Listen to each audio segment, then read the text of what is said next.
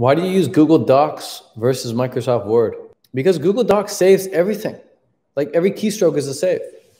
So you type the like you type my name, Ted.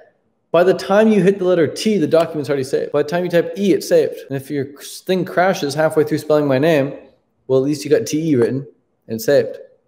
So that's the thing I love. That's the first thing I love about it. It's auto saves every keystroke. The second thing about Google Docs is it's instantly easy, easy. You can share it with everyone and you can edit at the same time. so I can share it with a student or customer or my partner, business partner, and we can both edit the document at the exact same time. Plus, it just it it, it syncs up really nicely with Google Slides, Google Sheets, and uh, it it all gets stored in the Google Drive. It's so convenient. It's accessible everywhere, and it works just as well. I mean, it works just as it does, has everything Microsoft Word does. But it lives in the cloud. Uh, my laptop, I intentionally, when I, bought, when I bought my new laptop, I bought the laptop with the smallest amount of storage. I don't want storage size on my laptop. If my laptop only how much size do I have on this? I only need like 100 gig on this tops. I have a terabyte of, of space on here and I have like 900 gig available. So I only need 100 freaking gig. I don't want to store stuff on my computer.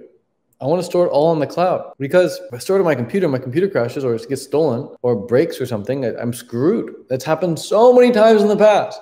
The cloud completely, completely uh, overcomes that issue. So I can have everything in the cloud, easily accessible from anywhere at all times, from my phone, from my laptop, from a freaking TV, from my friend's laptop, from the library computer.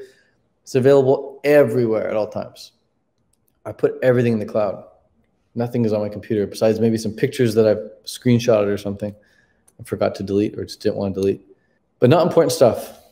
Not important stuff. I want to be able to wipe my laptop like once a month and not have to worry about anything. So that's why I use Google Docs.